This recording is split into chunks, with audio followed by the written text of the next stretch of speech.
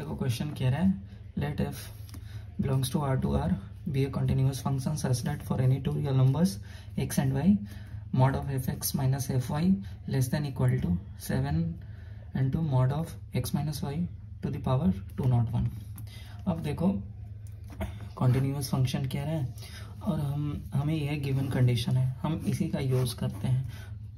ऐसे लिख लिया mod of f x minus f y mod ठीक है? देखो थोड़ा सा मुझे दिख रहा है कि डेरिवेटिव के फॉर्म में लिख सकते हैं। क्या क्या? नीचे हमने mod of x minus y लिख लिया।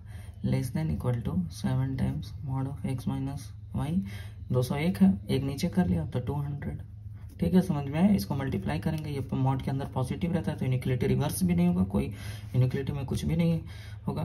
तो एज इट इज़ इनिक्लिटी रहेगा। अब हम देख रहे हैं, ये कहीं ना कहीं डिफ्रेंशिएशन के फंडामेंटल जो जो फार्मूले है, उसको ये कहीं ना कहीं लिख रहे हैं। तो आप देखो limit of x to the x approaches y mod of f of x minus f of y upon mod of x minus y less than equal to limit x approaches y 7 mod of x minus y power two hundred हम इसे differentiation क्यों कहते हैं? आप देखो, कोई भी एक हमने रैंडम फ़ंक्शन ले लिया, ठीक है?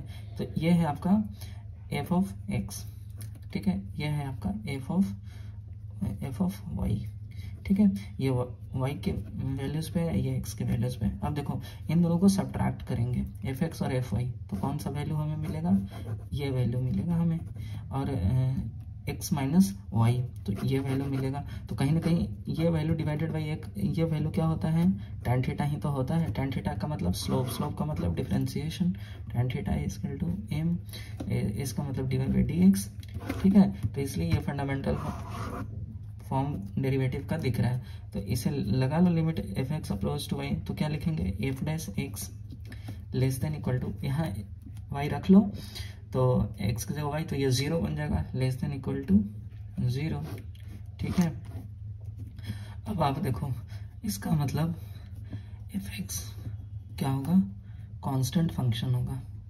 कांस्टेंट फ़ंक्शन कांस्टेंट फ़ंक्शन का मतलब अब देखो कांस्टेंट फ़ंक्शन आपको मिला तो ऑप्शन ए कह रहा है 100 जो 101 पे वैल्यू होगी वो 102 पे होगी। कांस्टेंट फ़ंक्शन का मतलब 202 पे, लेकिन यहाँ कह रहा है 101 पे जो वैल्यू होगी वो 202 प्लस आठ तो इसलिए ये भी गलत।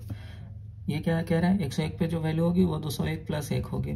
201 पे जो वैल्यू होगी वो प्लस वन लेकिन नहीं, जो 101 पे होगी वही 201 पे तो इसलिए ये भी ऑप्शन गलत। एक सौ एक पे है और 200 पे जो वैल्यू है प्लस टू कह रहा है, लेकिन नहीं, जो 101 पे होगी वही 200 पे होगी तो ये भी गलत। इसका मतलब नन ऑफ़ दिस आंसर और फ़ंक्शन क्या होगा हमें? कांस्टेंट फ़ंक्शन क्योंकि इसका डेरिवेटिव हमें ज़ीरो मिला। तो इसलिए हम कह सकते हैं कि इसका, जो फ़ंक्शन आएगा, हमें उसका नेचर कांस्टेंट है।